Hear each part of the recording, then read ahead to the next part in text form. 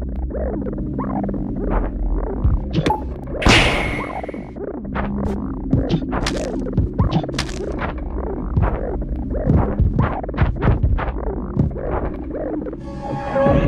On Monday, I worked on the reactivity system that governs how the game changes in response to your actions. Um, on Tuesday, I felt like that system wasn't really working and I just reworked it um, without thinking uh, about it a lot. And then in the evening, I realized that I needed to organize more. So on Wednesday, I started a to-do list um, and then nevertheless just rework the reactivity system again, um, again just following my gut feelings. Um, but I also started to visualize the reactivity. So now there's some icons that spawn in the places where the level has changed, indicating that something is different and that something else was there before. Um, on Thursday, I cleaned up the boss level selection code, added some graphics and placeholder art, so now they're all unique and like differentiated. Um, and I also finally actually made the boss levels, or at least the first versions of them. I cleaned up the visualization of the reactivity and I went over each single level, adjusting the reactivity objects that like um, govern the actual specific changes inside of each level. Um, and I also removed all of the robot levels, which had these like um, pretty cool looking structures that were like very like you could like push them over and stuff, but they were so slow. They're so tedious to interact with um, so I just cut them for now. So today's Friday, and this is the fourth devlog, meaning that I've been talking about this game on YouTube for four weeks now. Um, and looking back over the old videos, um, I I can see a very erratic behavior. Like every week, basically, I'm coming and I'm like, oh yeah, no, I changed all of this stuff, and now this is all different, and this works like that now, and I'm explaining all of these like weird things and ideas, uh, which is you know kind of interesting. Um, because normally uh, this late in development in, in, in my other games in, in qomp and Producer, it was very clear how the game was going to end and how the structure was going to be. It was very fundamental to the project how the structure was was was going to be. It was like the first thing I thought about.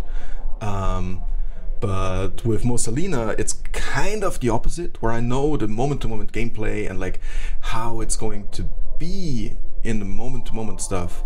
But the larger structure is just completely open, and I'm very happy that I've kind of kept it this exploratory and this loose for so long because now like ideas and thoughts from many months ago start to connect and click and it's like it's small changes at this point um, in terms of code like the larger like system is very solid and I'm, I'm very happy with it and I can like um, I can't really change that a lot, but I can make small tweaks. I can like change the size of the groups. I can change how boss levels are selected. And suddenly, you know, it's just these little incremental things, these little incremental structural changes that really feel like they're going in the right direction.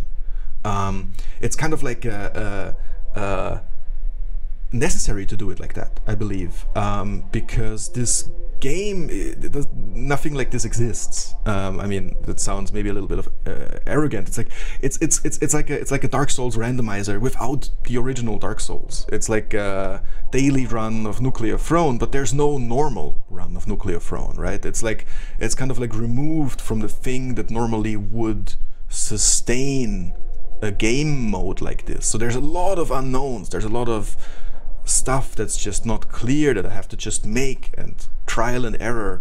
It's it's it's, it's very interesting. I've been I've been I've been uh, watching Mrs.'s devlogs to like see you know how can I make more appealing devlogs, um, and what he's doing is is fascinating because he just knows exactly how the game is going to be in the beginning of development. It's like a, a very like planned uh, development process, very like driven by like replicating systems and structures that exist in other games. And my approach is the complete opposite. so the, the devlogs are also kind of like rambling. Um, yeah, I, I, I I, quite enjoy it though. It's it's it's fine that like not a lot of people watch it. I'm very grateful that you watch it, and I'm looking forward to keep doing this for some time. Um, now let's let's let's go let's go to the audience questions. Developer asks how hard it is to make the level so open-ended, and it's it's kind of interesting because it's more it's not about I have to stop thinking about how will they solve it and I have to think about what looks like a concrete, unique level. Um, because if you can apply the same solutions to every level, it's you're gonna lose the the juice. Um, I try not to think about how will they solve it. I try to think about like how does it feel when I look at it. Um, Ira Montes asks, what sort of design ideas or rules of thumb do you find actually practical for making games? Are you using any of them for this one? Ooh. Uh, um, I believe in iteration first and foremost. It's not really an idea, it's more of a practice. I guess I guess it's everything I've found useful in the past that I've really believed in is still to some extent with me and informs my decision, even just in an antagonistic role, even if I'm like, oh, you know, fuck uh, Jonathan Blow like puzzle structures. I'm making the opposite of that. It's still inside of me. So, uh, whatever. Everything I've consumed is an unsatisfactory answer.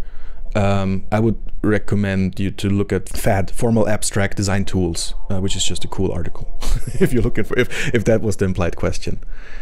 Um, no Tester 82 asks, how wild do you think speedruns for Mosa Lina will be?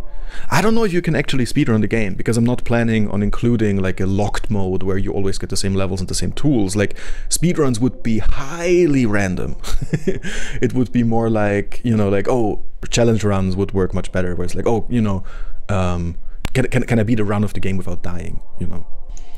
Um, Banana Peel on Head asks about Loot Bandit. Loot Bandit is a, in my opinion, legendary developer um, who's now mainly making visual testing things on Twitter. A huge stylistic inspiration for me. Um, I'll link the itch page below. And those are all the questions. If you have some more questions, just ask them. I will answer them in the next video. Um, and please don't forget to wishlist um, Mosa Lina so that I can eat many burgers. Thank you.